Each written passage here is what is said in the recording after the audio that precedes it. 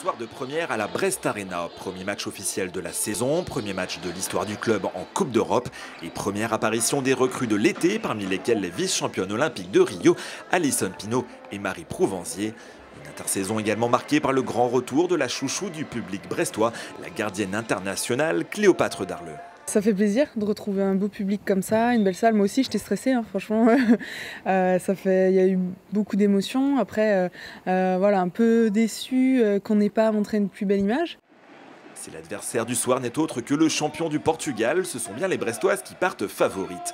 Mais face à des Portugaises accrocheuses, le BBH manque de rythme en cette reprise. Pendant près de 20 minutes, le Funchal Madère fait mieux que résister au récent vainqueur de la Coupe de France. C'est alors le moment choisi par Laurent Bezot pour procéder à quelques changements, notamment en attaque. Choix payant à la pause, l'écart est de plus 5, pas de quoi satisfaire l'entraîneur brestois pour autant. On a tout de suite vu que le rapport de force nous est très favorable, donc à partir de là, tu joues toujours un petit peu avec le frein à main.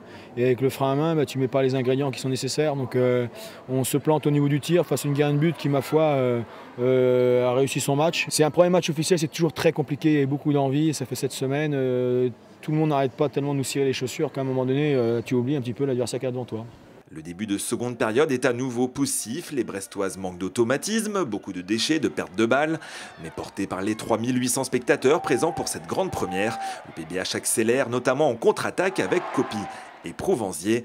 Madère est complètement dépassé et n'inscrit que trois petits buts dans le dernier quart d'heure.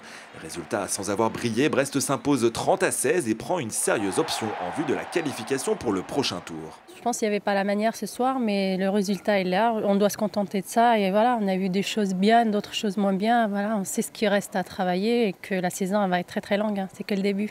Dans la foulée d'une saison historique, le Brest-Bretagne Handball s'apprête donc à nouveau à faire parler de lui. En Coupe d'Europe, c'est à espérer, mais aussi en championnat au sein duquel il fera figure de candidat sérieux au podium. Et ça commence dès mercredi par la réception de Nice.